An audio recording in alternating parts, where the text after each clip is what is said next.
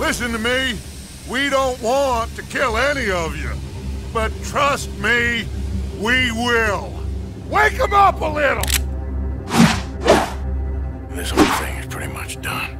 We're more ghosts than people. Hi, you are watching VSDC channel.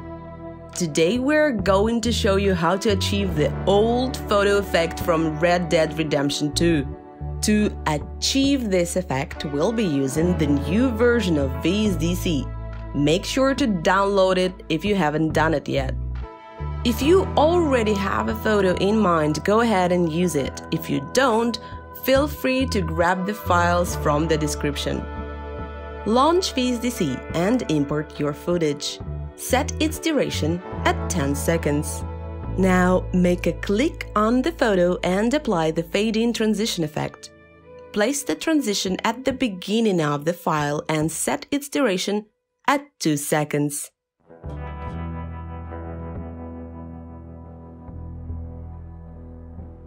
Go back to the main timeline tab and place the cursor at 1.15 seconds. Add a marker right there and move the file a bit so that it would start together with the marker. Duplicate the image and place the copy to the upper layer at the beginning of the scene. Make the duration of the original file the same as the duration of the copy. Double-click on the duplicate, move the cursor to 0.2 seconds and add another marker. In the marker properties, select the following option, visible in self-scope and in child objects. Turn off the visibility of the fade-in effect for now. Then go to the video effect menu and apply inversion. Make sure the duration of the effect is the same as the duration of the file. Finally, apply the paper burn transition.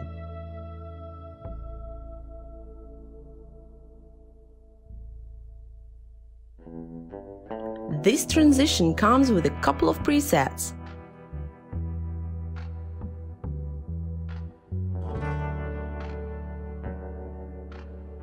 However, we want to achieve a custom look.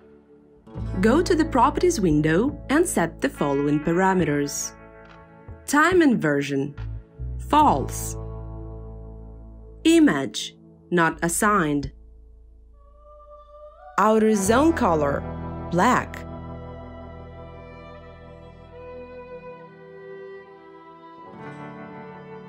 Inner zone color White Next, open Image and set the following parameters. Hole size 100%, granularity 10.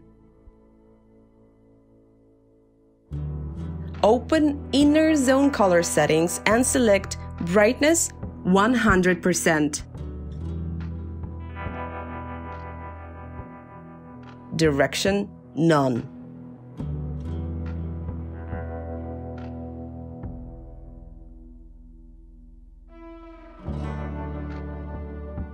add a new marker to define the end of the transition on the timeline.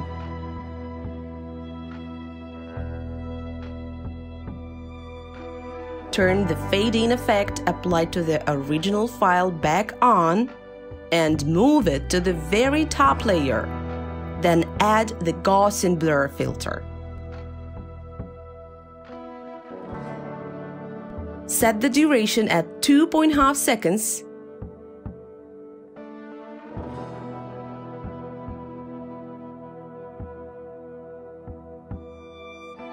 and find blur levels. To make the effect dynamic, set the initial value at 30 and the final value at 0.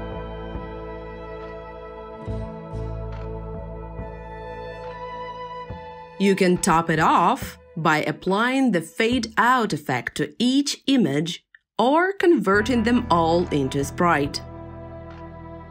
We hope you liked this tutorial. If you have any questions or suggestions for what we should cover next, Leave your thoughts in the comments below. Until next week.